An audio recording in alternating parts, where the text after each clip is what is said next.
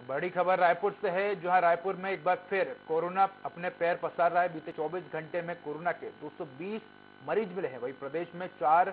महीने में सबसे अधिक मामले सामने आए वहीं एक व्यक्ति की कोरोना के चलते मौत हो गई है प्रदेश में पॉजिटिविटी दर दो दशमलव दो सात प्रतिशत हो गई है